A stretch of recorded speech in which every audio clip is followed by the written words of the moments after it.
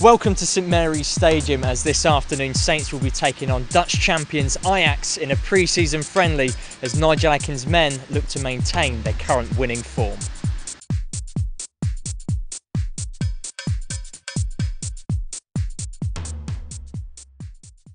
Today will be the first time Saints have played since returning from their training camp in Evian, and the last time there was any action here at St Mary's was two weeks ago in the Markus Liebherr Memorial Cup. The round robin style tournament got underway with Saints versus Anderlecht. The Belgian champions edged out a 1 0 win thanks to a goal from Tom de Sutter, who was fortunate enough to mop up his own rebound. It was role reversal for Anderlecht, who were on the end of a 1 0 loss against Arsenal. A strong run from Carl Jenkinson set up Henry Lansbury, who finished at the near post. The stage was set for a finale between Saints and Arsenal. Saints took the lead through Jay Rodriguez, who latched onto a Danny Fox cross. But the lead was short lived as Arsenal hit back through Gervinho minutes later. The match ended 1 0, and Arsenal were crowned winners of the Markus Liebherr Memorial Cup.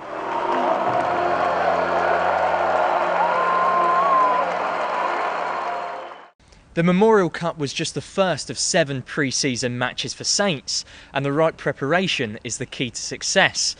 There's one man that knows that more than anyone else, and that's the manager, Nigel Adkins. Yeah, we've had a ball out from day one, and even before we went away, we had some uh, two very good games against Anderlecht and Arsenal. Uh, and again, it's our progression of building up to the Premier League campaign. The big thing is we want all the players to get through the pre-season campaign in one piece to make sure that they've had a, a good base of fitness to start off with, an understanding of how we're playing, a good feel of the new footballs that we've got this year, Premier League footballs. Um, so the lads have uh, acquitted themselves very well with that at the moment because we want to be a passing team, we want to be able to get the ball and move it around and uh, the lads have done that very well up to now. I mean, to the layman, it sounds strange that professional footballers would need to get used to a new football, but that, that is, I suppose, a, one of the small technical challenges they will face. Yeah, well, by the looks of it, the, the new balls are quite good, a lot true, far better for the goalkeeper. They don't seem to be swerving all over the place. There seems to be like a bit more of a rubber coating on them, so you can, uh, with the balls fizzed in, it can bounce off you quite a lot, so you've got to get you uh, accustomed to that, and the lads have done that very well, very quickly. even in March, April, May last season, you were talking about the benefit of pre-season and how much that set you up for the season. It's mm. obviously something you place a big emphasis on.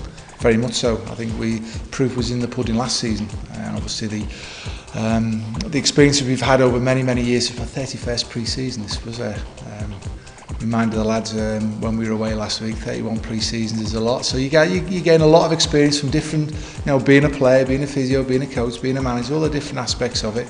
So you've sat in many people's different uh, you've got many different hats on if you like uh, so you can see things from different perspectives of uh, getting through that. But the big thing is if we can get everybody through a, a pre-season program that sets them up very well for the rest of the season.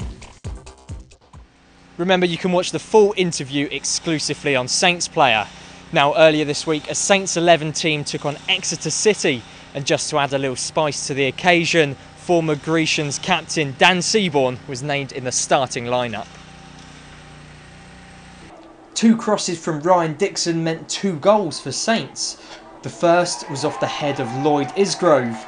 The second could have been his as well, but it was turned in by captain Lee Barnard.